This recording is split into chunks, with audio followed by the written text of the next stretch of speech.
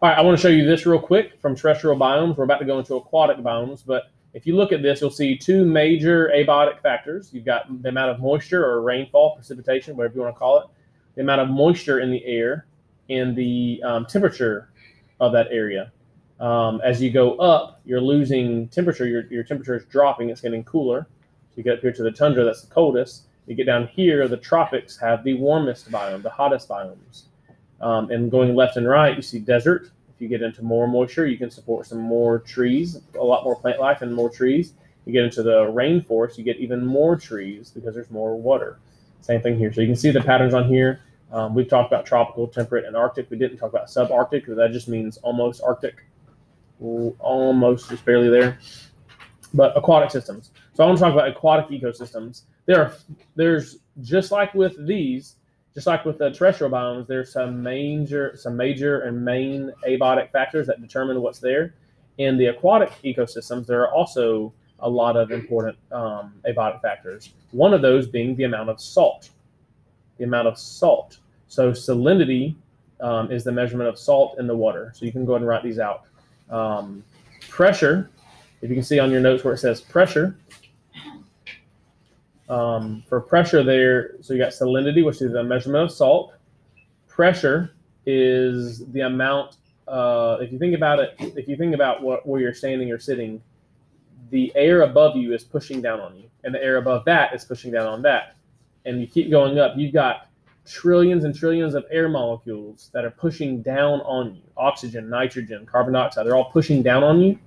So that's why if you go to get in a plane, then you can feel there's a difference in pressure and your ears might pop, or just driving in a mountain, up a mountain. But if you go 10 or 12 feet underwater, you get the same popping sense that you get the same pressure. Because when you go underwater, there's even more pressure. Water is a lot more dense. So you'll get a lot more pressure um, pushing down on you. So if you think about going a mile down or three or four miles down, that is a long way down. There's a lot of pressure. So the organisms there are going to have to be able to um, to live under that pressure or uh, lack thereof. Light, that's a big deal too. If you think about two reasons for light, think about the food chain. First, the producers need light. So if there is no light, those producers can't go through photosynthesis, or they can, but they just can't do it as well as, as closer to the surface. And if you think about a shark eating a fish, or a fish eating, I don't know, trying to get a, one fish getting a smaller fish, light is needed for them to be able to see the predator or see their prey. And then oxygen, dissolve oxygen. I don't know if you know this, but fish can drown.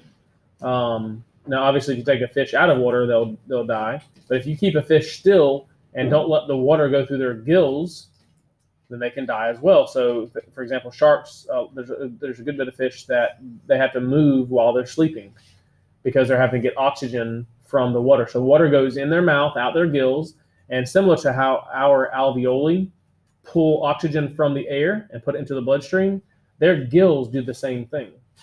Their gills take oxygen from the water and put it into their bloodstream. So, all of these things salinity, pressure, light, oxygen, they change for different parts of the uh, different ecosystems that are aquatic. Um, so salinity, if you'll think about salinity is going to be higher in the ocean. So you might want to write that out.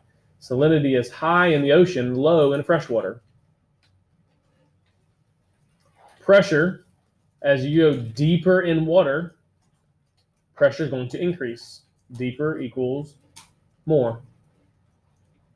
Light is going to um, decrease as you go down because light um, every time it goes past through it uh, the deeper it goes the more um, light is uh, diffract uh, is it diffracted? Refracted. Um, is it hits oxygen and hits water and hits debris that's in the water and it doesn't it just it can't go down. So if you look at the surface of the water it's very clear. As you go down it gets darker and darker and darker until there's no light zero light reaching the bottom. And oxygen. Dissolved oxygen means um, how much air or oxygen is floating in the water. So in a fish tank, you need to regulate the salinity um, and oxygen. So oxygen, if your fish tank at home does not have oxygen in it, it doesn't have air bubbling up or being pushed down from a filter like a waterfall, then the fish will die. They will drown. Um, They may get sick first, but eventually they will they will die. So just like terrestrial biomes have abiotic factors that are very important, things like temperature and uh, precipitation and altitude and latitude. Here are some four that we typed out. Mostly salinity. Um, salinity is going to be the most important for these, so you can keep an eye out for that. We'll talk about for the rest of the day. Um, these two are pretty important as well. Pressure changes, um, but light and oxygen, I would say, the, of these four, are the, the second most important, second and third most important. Um, all right, so let's go ahead and jump over to the aquatic biomes notes, which is uh, the next slide. Um, here's some quick facts. We're not going to go over a whole lot. Uh, most of the Earth is covered in water. I think you've already learned this. Most of the Earth's water is salt water. Most of the Earth's water is salt water. So 3% is fresh water. And of that 3%, only 1% of that 3% is available for us to drink. Very little of what we see on Earth as water that makes our planet the blue planet, very little of it is there to, uh, or can we drink, can we consume safely? Um, and algae is the main producer because think about the Earth is covered in algae. I mean, it's covered in water, way more than there is land for trees. There's places for algae to grow. That's where a lot of our oxygen comes from. Most of our oxygen comes from algae, not from trees. so we got freshwater ecosystems. Um, this I would consider this a lake. This over here is a marsh. This would be a swamp. There's differences, but all three of these are freshwater ecosystems. that fresh water, not salt. So big again, big anti, uh, big abiotic factor here, or that's not here rather, is salt. There's very little or zero salt. Um, some of the dissolved minerals can lead to where there's some salt, but very little salt, not to where you can taste it, um, or not to where it matters essentially. Um, different things you can think of different streams and rivers. Um, you guys have probably seen a pond, probably a lake. You know, there's swamps all around and marshes. There are some marshes. Um, the difference between these two, you can see right here, the difference between a swamp and a marsh is a swamp is mostly trees. The main vegetation there is going to be trees. You can write this out.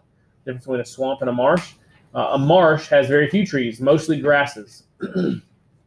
it's mostly grasses. That's why you can see this is pretty, I would consider this a uh, marsh, and this is a swamp. We have a lot more swamps around here than we do marshes. But we do have some marshes. If you go out to Grand Bay, you can see some of the area. Um, if you go far out, if you look up from the tower, you can see a lot of marsh. Um, I believe that would be considered marsh. and then we have tributary. So another one of the things on your um, in your notes is a river versus a tributary. What is the difference? I don't want you to give me the definition of both. I want you to explain the difference. So a river is a moving body of water. Normally we think of streams as smaller and rivers as larger if there's a stream that flows into a river, the stream would be a tributary into the river. If that river flows into another river and gives all of its water to the next river, then this river is called a tributary. So let me show you an example. This is, uh, I think this is the Mississippi watershed. There may be more rivers, but look, look right here. You have the Mississippi River.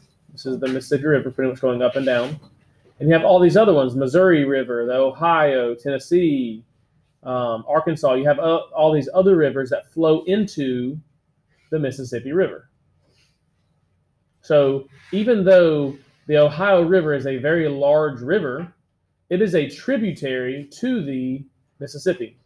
so back in think about like medieval times, long time ago, if a conqueror went into a uh, an area and showed, hey, listen, we can destroy your city, or you can just give us money, a lot of times they say, hey, you know what? Or sometimes after they destroyed their city, they say, hey, we're coming back, and every year we want, you know, thirty thousand dollars in gold every year. You need to give us this money, and that that area would have to give what's called tribute to that king or that conqueror, whoever that is, the leader of that army or that group of people. So to tri- give tribute is to kind of give something of yours to that other thing, the thing that is larger than you, that's greater than you. So to pay tribute or to be a tributary. So the Ohio River is a tributary. It gives its water to the Mississippi.